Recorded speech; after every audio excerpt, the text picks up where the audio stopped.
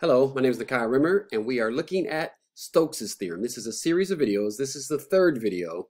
In our first video, we just introduced Stokes' theorem and did an example. And then we, um, in our second video, worked Stokes' theorem the other way. You have a choice of either doing a surface integral, calculating the flux of the curl of a vector field over a surface, or calculating a line integral around the boundary of the surface. That's what Stokes' theorem is built to do. So in this example here, we have a vector field, and we're asked to calculate the flux of the curl of the vector field.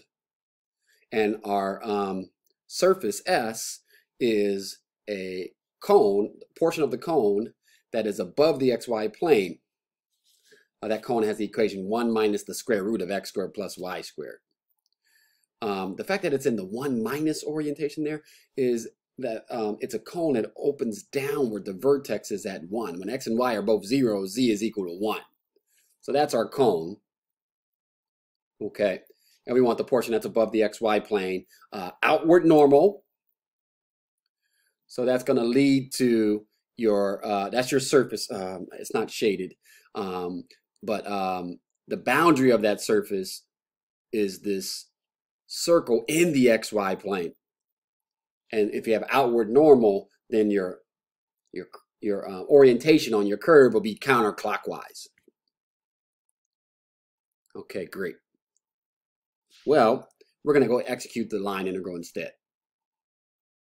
To execute a line integral, we have to parameterize the curve. We got to figure out what this curve is. It's called z equals 1 minus the square root of x plus y squared. But at the xy plane, z is equal to 0. So if we add that rad over, we're just we're just looking at the unit circle.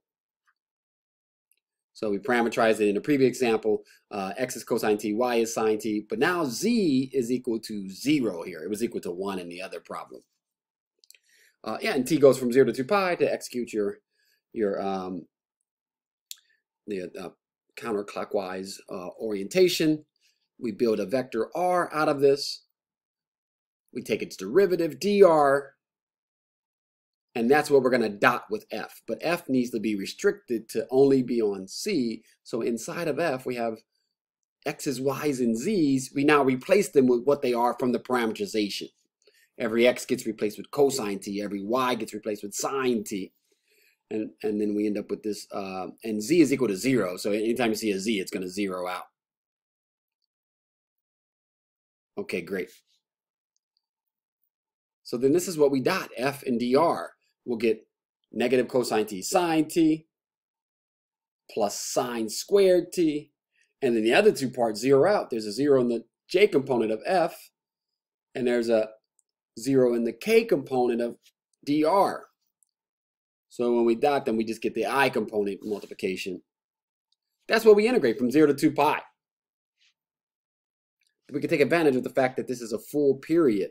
Sine t cosine t has a period of 2 pi you could actually integrate it. It's a nice little U sub. When it comes to sine squared, you need the half angle identity. Uh, for cosine squared, it's 1 half 1 plus the cosine of double t. Well, for sine squared, it's 1 half 1 minus the cosine of double t. All right, nice simple integral because we take advantage of the fact that we have full periods of these functions. The function sine t cosine t has a zero um, area because if you take the product of two periodic functions of the same period, then that product also has that same period. Um, when it comes to cosine of 2t, you actually have two full periods of that. Um, the 2 takes the normal period and cuts it in half. And so when you integrate under the cosine, um, whatever's above cancels to what below when you do a full period. Well, if you do two full periods, it's still going to cancel. You can definitely integrate those but I want you to recognize when you can just use this fact. And we're just integrating one half. Okay. So we get one half t from 0 to pi. We get pi for this one as well. We got pi for another example, actually. Okay. Executing Stokes' theorem, instead of calculating the flux of the curl, we are calculating the line integral around the boundary. All right, great. Let's see another example. Calculate the outward flux of the curl. This time we're talking about an ellipsoid. That's a football or a pill shape. Um, the part of the ellipsoid that lies above the xy plane. The z equals 0 is the xy plane. And we have this vector field here. We're not going to calculate the flux of the curl. Um, what we're instead going to do is use Stokes' theorem and calculate the line integral around the boundary. So here's a, a wireframe drawing of our surface. Outward normal so we have the boundary, and if you're outward normal, you have this orientation that is counterclockwise. Our equation is 2x squared plus 2y squared plus z squared equals 8. We're going to go and calculate f dot dr around the boundary, but we have to be able to parameterize this curve, c. So we want the, we want to be on the surface, but we also want z to be equal to 0, though because that's where our curve is occurring at on the xy plane. And so, um, yeah, that's just a, a, circle. It's not a unit circle. Um, 2x squared plus 2y squared will be equal to 8. So x squared plus y squared will be equal to 4. Circle of radius 2, centered at the origin. How do you parameterize that? You let x equal to cosine t, y equals to sine t, and then z is 0. We're on the, we're on the xy plane. t goes from 0 to 2 pi. We have parameterized it. We build the vector r out of this. x, y, and z components. Uh, uh i, j, and k components are the x, y, and z. Take the derivative of it. That's dr. That's what we're going to dot with f. But we have to rewrite f. We can't use the x's, y's, and z's that are in f. We rewrite f by replacing all the x's with 2 cosine t. All the y's get replaced with 2 sine t. And if there's ever any z's, that gets replaced with 0.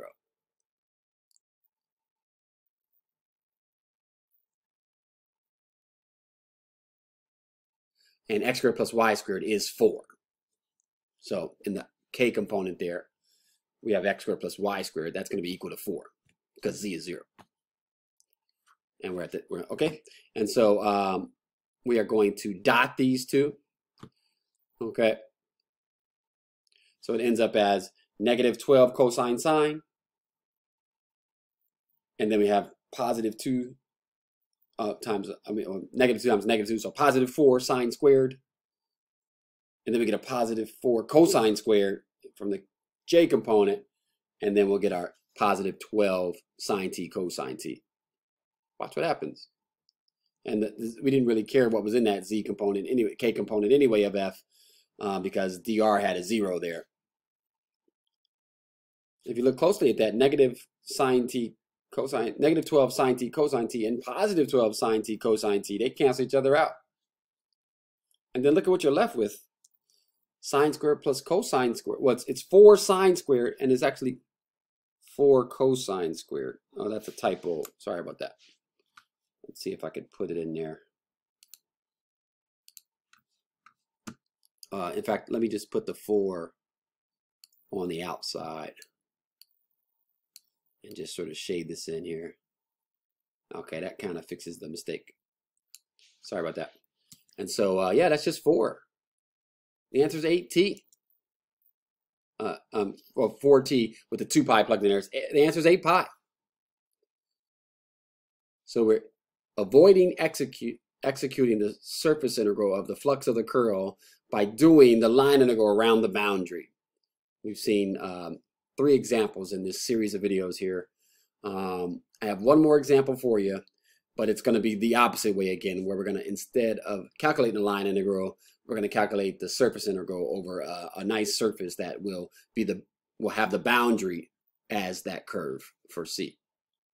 Thank you very much for watching. My name is Nakia Rimmer. I'm here to uh, help you through this multivariable calculus journey. Please comment down below, like and subscribe. Uh, reach out to me if you need any help. I have a video, uh, I have a series of videos. I have um, a workbook with work um, midterm level questions, exam level questions, and full solutions. So reach out to me if you need some help with multivariable calculus. Thank you for watching. I'll see you in the next video. Take care. Bye-bye.